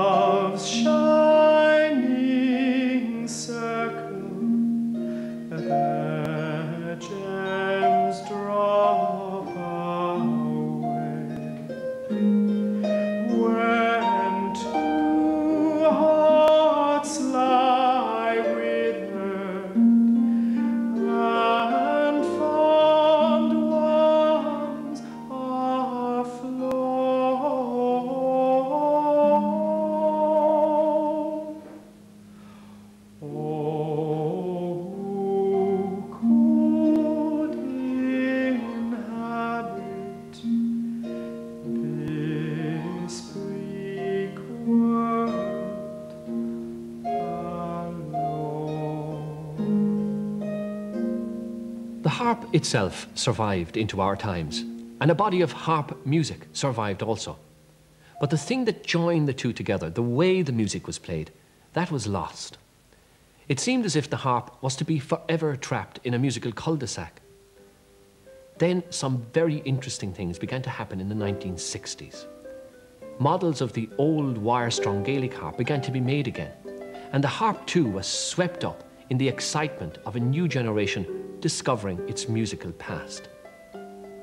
The formal presentation of Irish traditional music on the concert stage was the deliberate concept of one man, Sean Ó Riada. Group performance in this tradition was never to be the same again. Here in this theatre, on the 30th of March 1969, an excited audience waited in anticipation. They were about to witness an historic event. the composer Sean Ó Riada walked onto the Gaiety stage with nine traditional musicians. Years of searching for a way through and a way back to the lost voice of the Irish harp, Ceol na Nósa, had brought him to this point. A uachtaráin na híilse a cháid go léir fáilte. Fágam sibh bheith chean agus seán ó riada.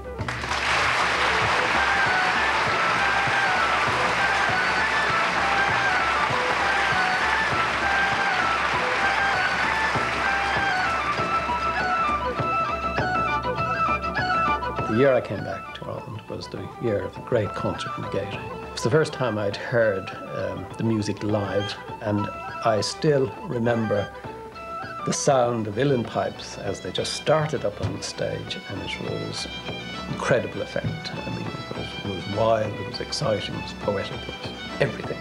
But it was just hugely exciting. The whole night just took off.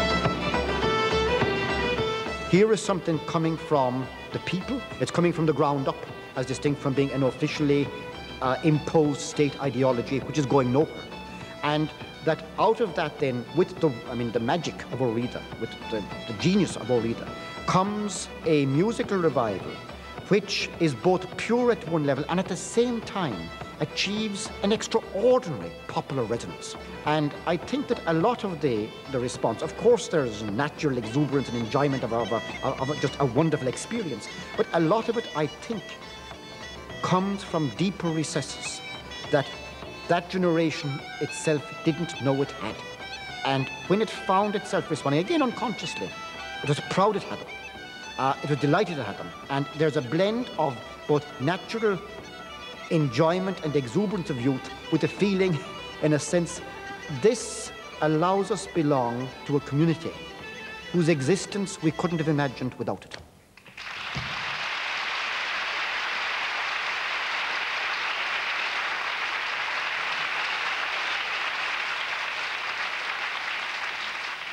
In memoriam Sean Ó Riada. He conducted the Ulster Orchestra like a drover with an ash plant herding them south. I watched him from behind, springy, formally suited, a black stiletto trembling in its mark, a quill flourishing itself, a quickened, whitened head. How do you work? Sometimes I just lie out like ballast in the bottom of the boat, listening to the cuckoo. The gunwale's lifting ear, trusting the gift, risking gift's undertow, is unmanned now. But one whole afternoon it was deep in both our weights. We sat awkward on the thwarts, taking turns to cast or row, until mackerel shoaled from under like a conjured retinue fawning upon our lures. He had the sprezzatura, more falconer than fisherman, I'd say, unhooding a skeptic eye to greet the mackerel's barred cold, to pry whatever the cuckoo called. As he stepped and stooped to the keyboard, he was our Jacobite. He was our young pretender who marched along the deep, plumed in slow airs and grace notes. O gannet smacking through scales, minnow of light, wader of assonance.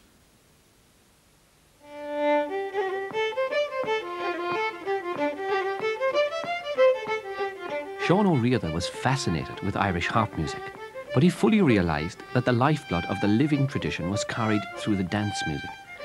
Here lay the secrets of style and technique which brought that music to life.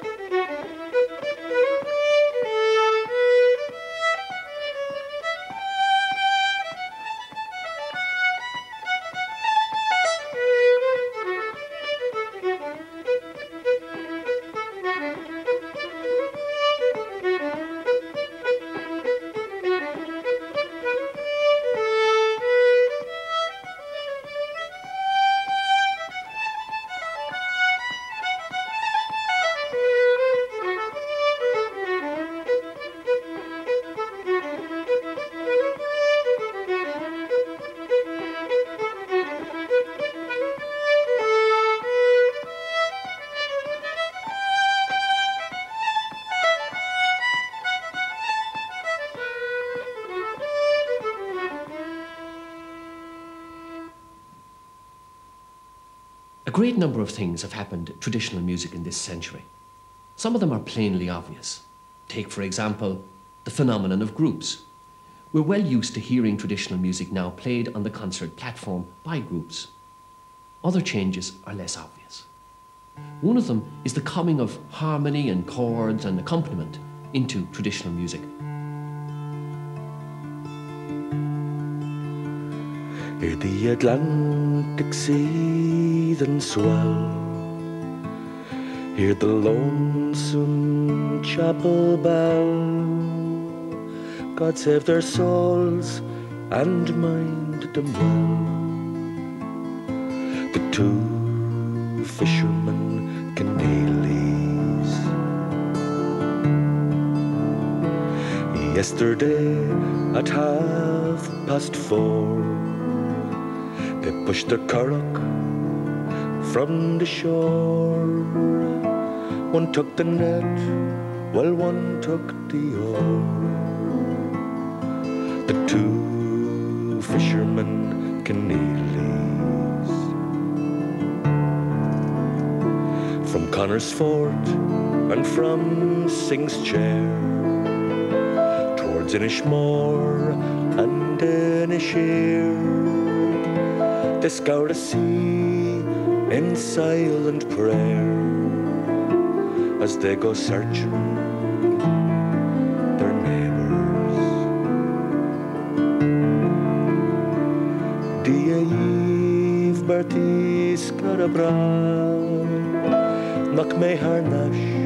er bar an tra Go me of son sasta ar neav Tomas is Sean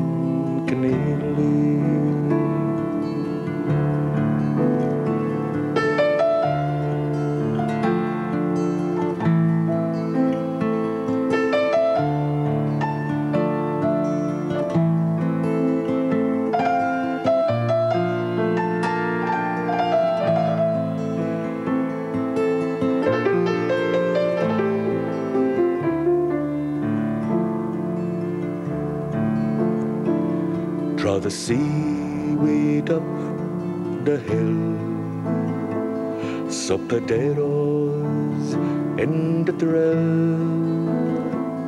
Try to understand God's will and the loss of the two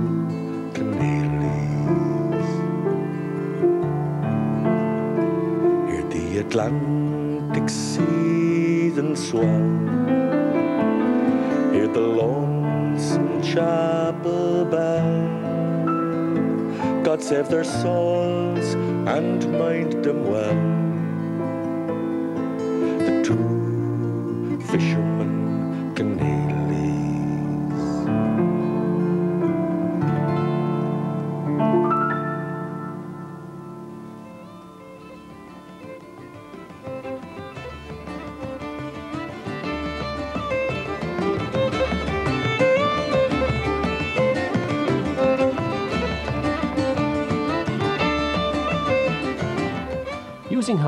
Traditional music has invited new instruments in. Here's an instrument which I've seen over two decades move from a peripheral position to centre stage in the accompaniment of Irish traditional music. Who would have thought we'd end up with an Irish bouzouki? Donal, how did you come to the bouzouki? I was given a Greek bouzouki by Andy Irvine, um, and uh, I took to it immediately. Um, I was playing guitar at the time, and uh, the, the very sound of it, I thought, uh, was actually more suited to the accompaniment of Irish music because of its simplicity. Because the chords weren't as full, as sort of dense as guitar chords, because the tuning is almost open, you know, it's almost an open tuning. And people uh, very often accompany uh, Irish music with the open tuned guitars as well, but it's the same thing. But the bouzouki is actually a simpler sound, and uh, I think being another voice as well, being a different voice, it, it sort of somehow has integrated with Irish music. Has anything, in fact, changed in the instrument itself? Well, the, uh, the original bouzouki I had had a round back and it had octave strings on the bass end, and the first thing I did with it was I put a unison strings, which just gave it more body. And that has, seems to have become a, a, a habit now. I mean, pe people generally use unison strings on bouzoukis. Then I had this one made, and I had it made with a flat back, which was arbitrary. Um, but uh, it, it, sounds good, and uh, so I think that the, uh, a few other uh, things have been introduced as well, and I think what is now known as the Irish bouzouki has come into being. If you took the bouzouki home to Greece, would mm. they recognise it? I think they'd laugh at it. Actually, I did take a bouzouki to Greece once. Had, it had 10 strings on it, and they did laugh. they wouldn't believe me. you, in fact, play more than simple chords, of course, in your, in your accompaniment. Yes. Um, well, it's, it's a style, if you like. Uh, because the, uh, the stringing is quite simple, it's possible to, to just use the sort of open sound and move.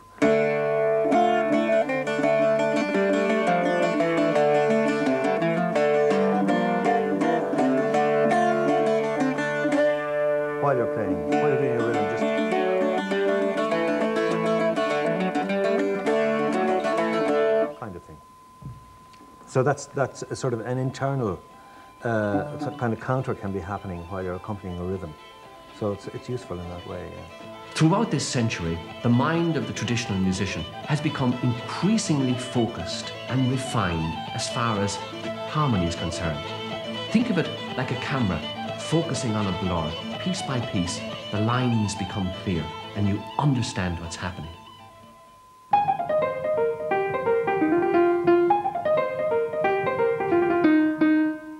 I put chords behind that, I'll slow it down.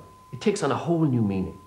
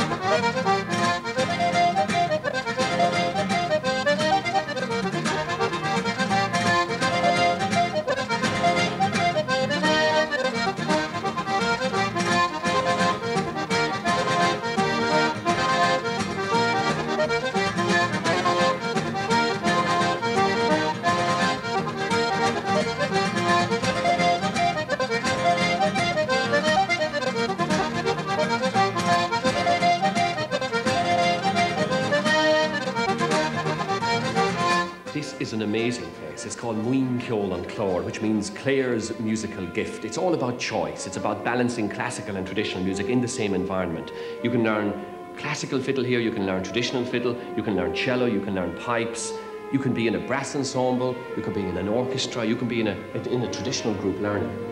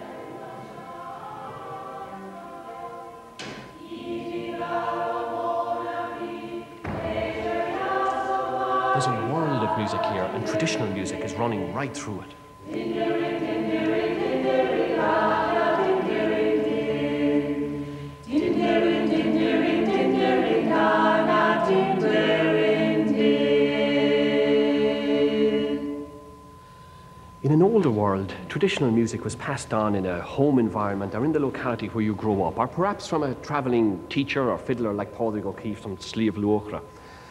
Then, about 100 years ago, with the founding of the Cork Pipers Club and later on the Dublin Pipers Club, traditional music began to be integrated into a classroom environment.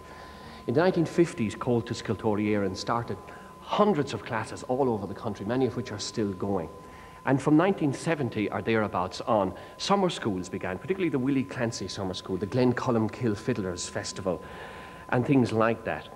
People worry about learning traditional music in a classroom. I mean, is it possible to develop an individual style in that environment? The important thing I feel is that technique is being laid down, and out of that technique, a personal, individual style will come.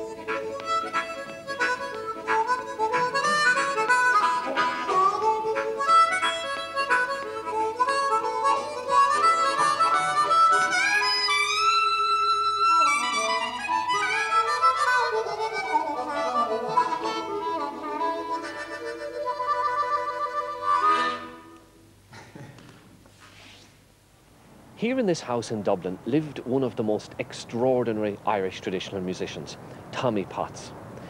In my opinion, he ranks with Carolan and Sean Ó Riada as one of our great musical innovators, yet so few people seem to know who he was, and even less seem to understand the nature and depth of his musical genius. You see, Potts did something that no outsider can do. He exploded the music from within. History may yet show him to be a brilliant cul-de-sac, or it may show him to be a musical prophet.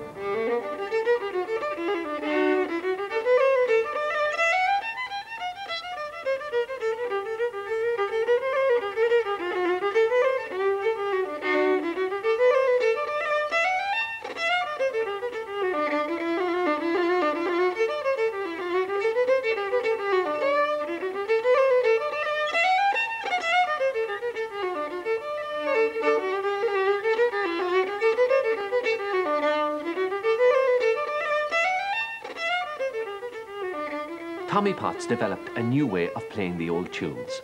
What was essentially a dance music, after all, was undermined by him to such an extent that it was no longer possible to dance to it in the traditional manner. On top of that, the session, so central to our tradition, had no place for his way of playing. This was the voice of an individual. I met him at Seamus Ennis's funeral, at his wake.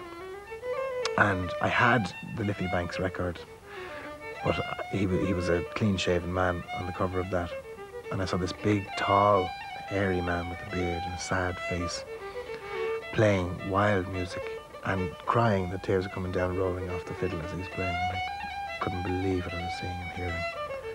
And then I listened again to the Liffey Banks tape uh, much more closely. And since then, I keep on buying it. It's the tape that I buy more than any other. And I have, I always have a copy somewhere in the car or at home. And I meet somebody and they're asking about Irish music, and I say, take that. And if that interests you, the rest of Irish music will fascinate you too.